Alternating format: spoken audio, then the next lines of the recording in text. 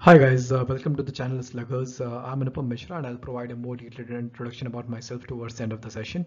Uh, right now, let's move jump into the 22nd type of error uh, in the series uh, 50 most essential grammatical errors for the XAT. Okay, so let's start. However, I would like to first state that this is not just a random list of uh, 50 grammatical errors that we have like, you know, just come up with.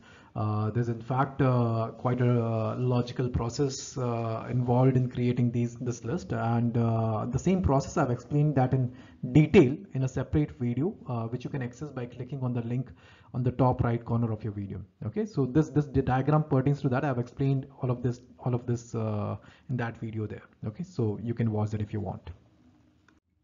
Okay, so guys, in this uh, installment, we'll discuss the second parameter of agreement between the pronoun and its antecedent, right? Last time we discussed the number parameter.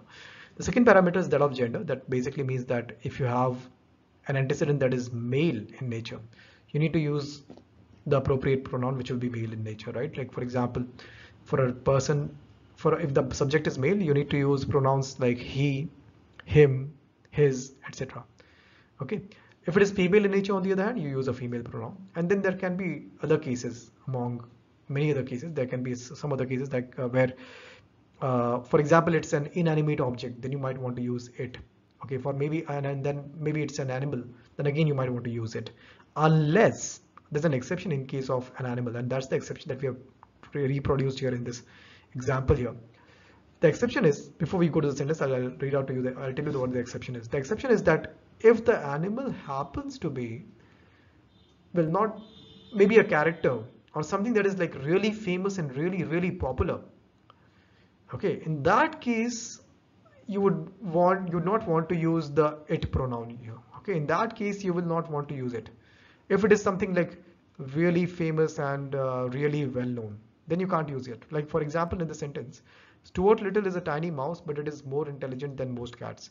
It has been used for the mouse Stuart Little, but but now Stuart Little happens to be a, although it's a fictional character, it's a fictional mouse. Well, so far as we know, so uh, uh, but it's still quite famous, right? Uh, it is still quite famous and quite popular, and hence in this case, you'd want to use he here. Uh, it's it's a male mouse, right? So uh, Stuart Little is a tiny mouse, but he is more intelligent is more intelligent than most cats, right? So in this case, like because of the exception, A will be wrong and B will be correct. You can try this uh, with the next sentence. It says, Scooby-Doo, the famous dog, bought a tail grooming machine for itself. Right, so let me know if you think uh, the sentence is correct. If not, what do you think should be the correct version of the sentence? Finally, guys, my quick introduction. I'm Anupam Mishra and I'm Lucknow alumnus. Um, I have worked in the past with uh, organizations such as Hotstar, UNICEF, Apollo IMS, etc. I've also worked uh, with Unacademy as an educator in the past, uh, recognized by, by, their Johnny Ive Award.